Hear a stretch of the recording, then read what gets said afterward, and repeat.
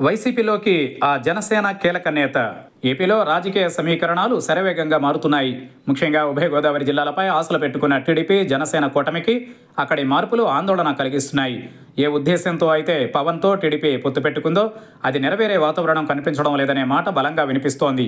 ముఖ్యంగా పవన్ కళ్యాణ్ వైఖరితో సొంత సామాజిక వర్గమే అసహనంగా ఉండడం విశేషం.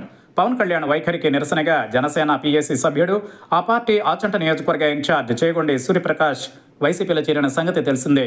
ఆరేళ్ళుగా పవన్ వెంట నడుస్తూ ఆయన సీఎం కావాలని పరితపించిన చేగొండి సూర్యప్రకాష్ పార్టీ మారారంటే అక్కడి ప్రజల్లో ఎలాంటి అభిప్రాయం ఉందో అర్థం చేసుకోవచ్చు.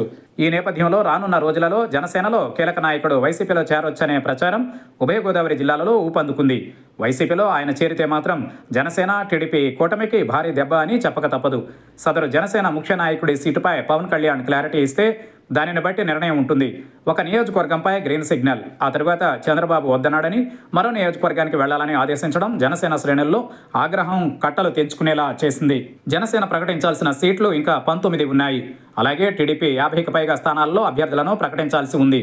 ఈ రెండు పార్టీలు అభ్యర్థులను ప్రకటిస్తే వాటి మధ్య పొత్తు ఎంత బలంగా ఉందో తెలిసిపోతుందనే చర్చకు తెరలేచింది. జనసేన నాయకుడికి ఇచ్చిన హామీని పవన్ నిలబెట్టుకోలేకపోతే మాత్రం ఉభయ గోదావరి జిల్లాలలో ఆ నాయకుడి ఎఫెక్ట్ తీవ్రంగా ఉంటుందని చెప్పొచ్చు. ఇప్పటికే ఆ జనసేన కీలక నాయకుడితో ఐపాక్ టీం టచ్లోకి వెళ్ళింది. వైసీపీలోకి వస్తే ఎమ్మెల్యే సీటుతో పాటు మంత్రివర్గంలో స్థానం కల్పిస్తామని సీఎం జగన్ ఇచ్చిన హామీని ఆయన దృష్టికి ఐపాక్ టీం తీసుకువెళ్ళింది. చాలా కాలంగా పవన్ వెంట నడుస్తున్నానని సీటు విషయమై న్యాయం చేయకపోతే వైసీపీలో చేరతానని భరోసా ఇచ్చినట్లు తెలిసింది. ఆ కీలక జనసేన నాయకుడు వైసీపీలో చేరితే ఉభయ గోదావరి జిల్లాలలో టీడీపీ జనసేన కూటమికి భారీ షాక్ తప్పదనే చర్చకు తెరలేచింది.